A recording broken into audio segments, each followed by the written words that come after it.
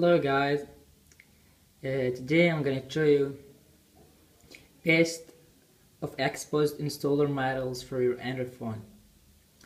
Uh, this is actually just very light uh, model that you can add it for your phone by Xposed installer. Everybody know Xposed installer, how to install it and how to active models.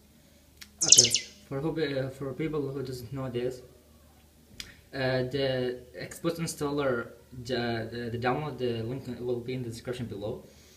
And when you download it just uh, open it and you're gonna get your your root require uh, root permissions. Then just install and update and then reboot. And if you want to download the model and update uh, and enable it just download the model that you want. Go to models then check it then reboot your phone and it will be enabled. So that's it. Very simple. Today I'm going to show you paste Xposed installer models here. Uh, there are four. I'm gonna start with the first one. It's called Complete Action Plus. Here is it. As you can see here. Uh, this is a tweak for complete action using Android Dialog, as you can see here. Uh, this is the app, the interface. So simple. I can see here the dialog tab if you press on the layout uh, uh, theme, you can see the light or dark or the default. Uh, if you hit uh, here test chair to show what uh, your results is, like I'm having here the test chair, having a grade with 3 by 5 so easy and so simple to share uh, it's better than the last. you can set it for the dark theme is it no reboot is required to take uh, the effect. You can change the background wallpaper as you can see here the blue now. I can change the font uh, that sorry the text color. Here is it. And customize it as you want. Uh, here the layout you can set grid list. As you can see here. Uh, and if it uh, selects grid you're gonna uh, get uh, options for numbers of grid columns uh, per uh, uh, portrait or landscape. And you can set it as you as you want. That's pretty much for a complete action plus. Actually this is very very beautiful tweak for Android device the second one is live wallpaper in recent. It's written LW in recent uh, not space. So uh, as you can see here, focus. Here is it. Uh, this is allow uh, for your uh, app switcher for the background. Uh, if you press on it, you can get use custom opacity, background opacity. You can set the opposite of your background. If this app was not installed, your background will be if you set the live wallpaper will be black. And if you set like uh, this uh, normal wallpaper you can set it like this. Just gonna be the wallpaper that you set it. But if you uh, set a live wallpaper let's uh, see here. Let's set a live wallpaper.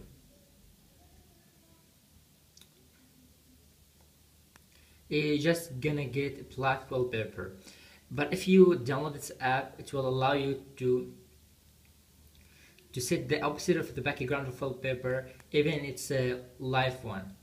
Live wallpaper see? Now the background is moving you can set it the opposite here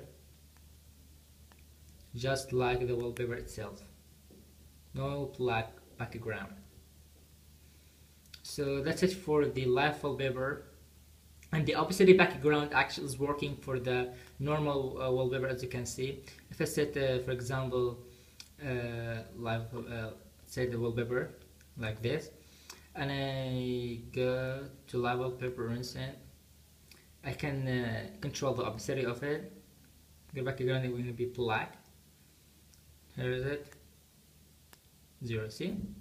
Very beautiful app and simple uh, third models here is Noverflow. As I'm here, I'm using a CM11.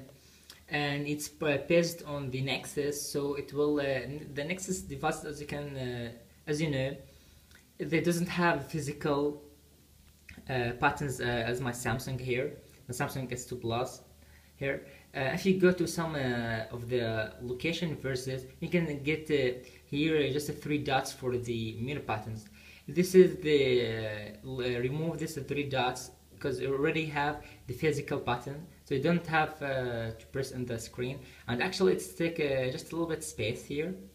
So let's remove that and uh, reboot your phone and you remove it. No interface it has. As you can see here the description removes the, the, the three dot menu buttons from versus location. And the last tweak is trans, uh, translucent recent translucent recent uh, what it does basically if you uh, this is uh, the translucent recent it's just working for KitKat for the 4 doesn't work on Jelly Bean uh, what it does as you can see here in the app switcher the KitKat have black status bar.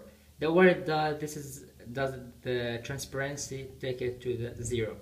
So no black status bar in the app switcher just transparent as the launcher it is. So that's it. Very simple. Actually these uh, tweaks are very simple. Doesn't uh, affect on the performance of the phone. Just so easy.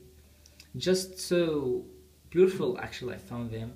And so important for our phone so that's it guys this was my video don't forget to like, comment and subscribe for more of my videos. Peace.